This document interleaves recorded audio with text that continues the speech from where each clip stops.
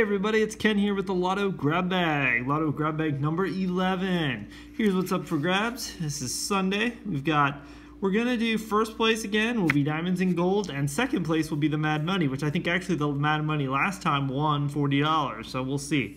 Here's your Mad Money ticket number. It's ticket 51. There's your book number. Here is the $10 Diamonds and Gold. There is the book number, well not the book number, that's the ticket number here is your book number with that ticket number.